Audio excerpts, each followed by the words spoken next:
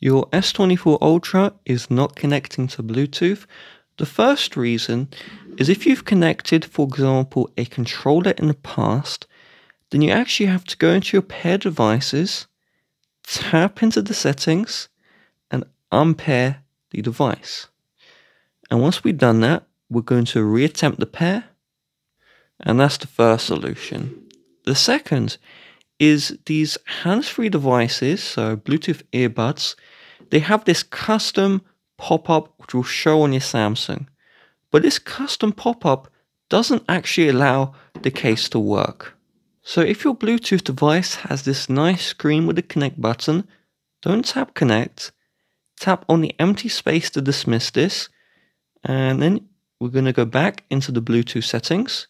You may have to dismiss that multiple times and just tap the device inside the Bluetooth instead of that nice pop-up.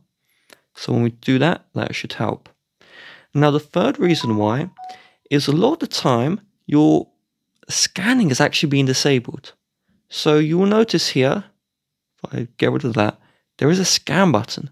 So you may need to just tap on scan so that the scan continues and the available devices show up. And finally, if all fails, from the home page's settings, you're going to locate where it says General Management then we're going to have to scroll down and select reset.